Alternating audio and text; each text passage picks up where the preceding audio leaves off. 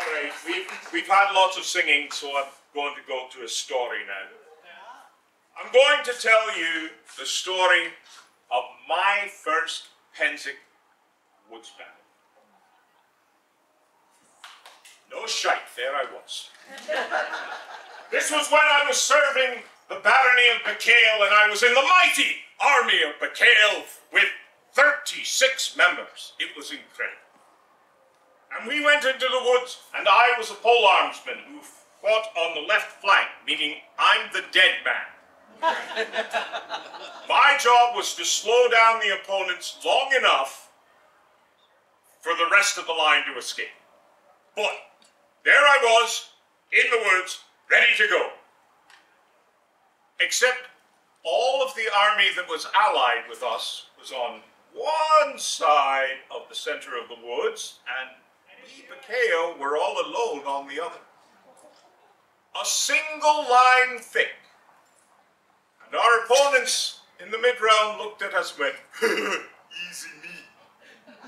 And they started coming at us, and they hit us again and again and again, and we fought and we fought. And my, my dear friend Sabine, who is this tall, and who was a spearwoman, was shooting shots up under the shield wall into the oncoming opponent. And we, we, were, we were fighting and fighting and fighting and fighting, but we were getting so tired. Every time one of us fell, we ran back to the res point and ran back to the line. But we were exhausted, and that's when our Baron stepped back 20 feet behind the line, took off his helmet, and sat down under a tree there wasn't a single one of us that were going to let somebody through the line to declare our Baron dead. So we fought harder. And the Midrealm decided, hey, maybe we should go over there where there aren't the crazy people.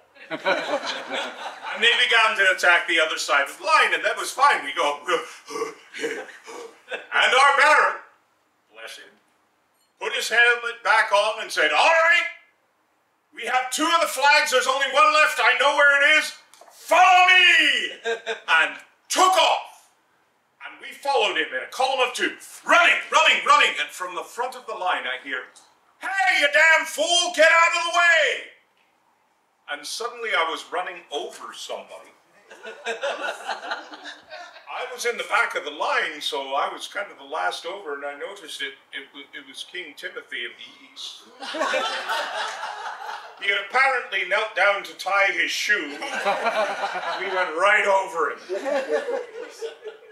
But I wasn't going to stop. I was already in trouble with him anyway. Different story. But uh, so we charge, and there we see it, the last flag, right ahead. There are 36 of us and like 10 Midrealmers. We got this! We charge in, and that's when the two columns of 20 hit us from the sides. there was a flurry of blows, and then hold, hold, dead out, dead out. I alone was standing. One of my comrades was legged beside me, and we are surrounded on all sides by unsympathetic looking Midrealmers. and one of them leaned towards me and said, having fun? I said, for the next few seconds I am. At which point, lay on was called, I swung, swung, and then was clubbed like a baby harpsichord. and that is the story of my first woods battle.